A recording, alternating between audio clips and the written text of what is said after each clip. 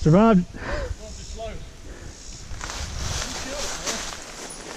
I hit it a little bit too fast, like dropping off the backside, but it feels safer than Probably that's probably right because you can hit. you just shoot through where you're going and then worry about landing after. Yeah, because you can hit the uh, The front. You ain't got to worry about that. Right. You're right. That's it.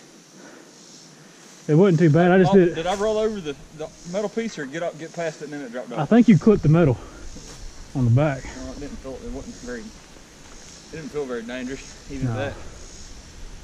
You wouldn't fall like 10 feet or anything, you know. Yeah, you killing it there.